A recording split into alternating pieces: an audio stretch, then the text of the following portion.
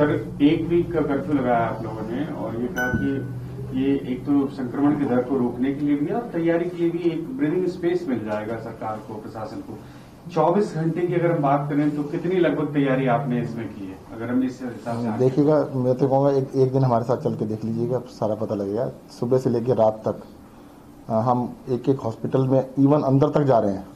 Wards के अंदर भी जा रहे हैं बहुत सारे लोग कह रहे हैं कि भी नहीं जाना चाहिए। मैं और मनीष जी तो बिल्कुल हर वार्ड में आईसीयू तक में अंदर जा रहे हैं और वहाँ पे उनकी समस्याएँ भी सुन रहे हैं उनको ऑगमेंट करने की तैयारी भी कर रहे हैं। अभी जो बहुत बड़ी समस्या आ रही है वो ऑक्सीजन की सप्लाई पे थोड़ा इशू आ रहा है। ऑक्सीजन सप्लाई जैसे ही एक दो दिन में स्टेबलाइज होती है बहुत बड़ी संख्या में नंबर ऑफ़ बेड बढ़ जाएँगे। सर कल केसेज में कुछ कमी आई थी आपको लगता है ये वीकेंड लॉकडाउन का असर है और आगामी दिनों में क्या पॉजिटिविटी कम हुई नहीं देखिए पॉजिटिविटी का ना आप एक दिन से नहीं अंदाज़ा लगा सकते। पॉजिटिविटी को तो ट्रेंड देखना होता है that is average for at least seven days average जिसे कहते हैं। सेवन डे मूविंग एवरेज जब डाउन आएगी, तभी डाउन मान सकते हैं, उससे पहले उसको डाउन नहीं मान सकते। एक दिन कम या ज़्यादा होने के कारण बहुत सारे हो सकते हैं। मान लो टेस्ट है, टेस्ट रिपोर्ट किसी दिन ज़्यादा आ गई, थोड़ी कम आ गई। फ़िक्र आपकी, सोमवार से शुक्रवार, रात नौ बजे, सिर्फ़ टीवी नाइन भारत वर्ष पर।